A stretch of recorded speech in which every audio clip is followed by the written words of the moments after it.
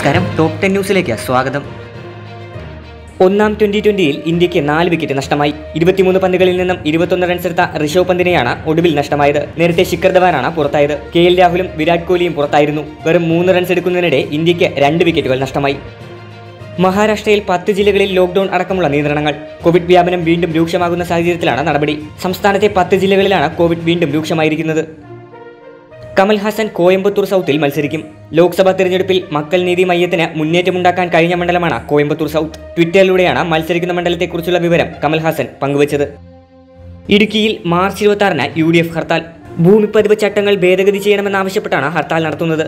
രാവിലെ ആറു മുതൽ വൈകിട്ട് ആറ് വരെയാണ് ഹർത്താൽ. സ്വയം ശമ്പളം വർദ്ധിപ്പിച്ച ഉത്തരവിറക്കി ഖാദി ബോർഡ് സെക്രട്ടറി.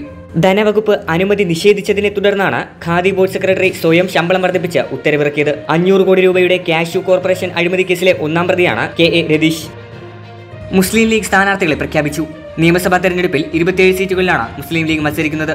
സംസ്ഥാന പ്രസിഡന്റ് പാണക്കാട് ഹൈദരലി ശിഹാബ് തങ്ങളാണ് സ്ഥാനാർത്ഥികളെ പ്രഖ്യാപിച്ചത്. മലപ്പുറം ലോക്സഭാ മണ്ഡലത്തിൽ അബ്ദുസമദ് സമദാനിയും രാജ്യസഭാ സീറ്റിലേക്ക് പി വി അബ്ദുൽ വഹാബും മത്സരിക്കും.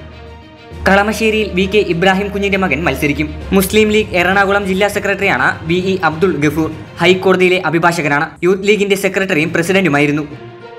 കോൺഗ്രസ് നേതാവ് വിജയൻ തോമസ് ബി ജെ പിയിൽ ചേർന്നു. വെള്ളിയാഴ്ച വൈകുന്നേരം ആറരയ്ക്ക് ഡൽഹിയിലെ ബി ജെ പി ആസ്ഥാനത്തെത്തിയാണ് അദ്ദേഹം അംഗത്വം സ്വീകരിച്ചത്. നേരത്തെ പാർട്ടിയിൽ നിന്ന് ഔദ്യോഗിക അംഗത്വം രാജിവെച്ച വിജയൻ തോമസ് പ്രാഥമിക അംഗത്വവും രാജിവെച്ചിരുന്നു.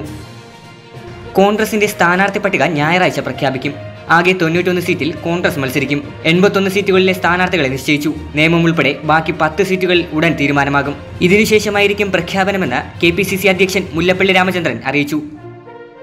സംസ്ഥാനത്ത് ഇന്ന് കോവിഡ് ടെസ്റ്റ് പോസിറ്റിവിറ്റി നിരക്ക് മൂന്ന് പോയിന്റ് നാല് ഒന്ന് ശതമാനം. അൻപത്തിരണ്ടായിരത്തി ഒരുന്നൂറ്റി മുപ്പത്തിനാല് സാമ്പിളുകളാണ് പരിശോധിച്ചത്. ആയിരത്തി എഴുന്നൂറ്റി എൺപത് പേർ കോവിഡ് പോസിറ്റീവായി. പതിനാല് മരണങ്ങളും സ്ഥിരീകരിച്ചു.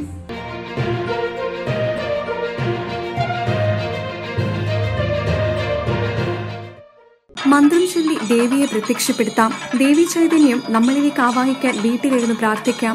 ദേവിയുടെ അനുഗ്രഹമുണ്ടാവാൻ ദേവീസ്തുതികൾ ചൊല്ലി പ്രാർത്ഥിക്കുന്നത് ഉത്തമം. സർവാനുഗ്രഹത്തിന് ദിവ്യശക്തിയുള്ള ശിവമന്ത്രങ്ങൾ. ശിവരാത്രി ദിവസം അറിഞ്ഞിരിക്കേണ്ട മന്ത്രങ്ങൾ. ശിവരാത്രി ദിവസം വ്രതമെടുക്കുന്നതും ക്ഷേത്രത്തിൽ നടക്കുന്ന നിർമ്മാല്യ ദർശനം മുതലുള്ള പൂജകൾ തൊഴുന്നതും ശിവപ്രീതി നൽകുന്നു. ഉണ്ണാതെ ഉറങ്ങാതെ ശിവരാത്രി നോറ്റാൽ സർവൈശ്വര്യം. ശിവരാത്രിയിൽ ശിവപൂജ ചെയ്ത് ഉറങ്ങാതെയും ഉപവസിച്ച് ഭഗവത് ധ്യാനവുമായി കഴിയണം. പുതിയ ലക്ക മുഹൂർത്തം ഇപ്പോൾ വിപണിയിൽ.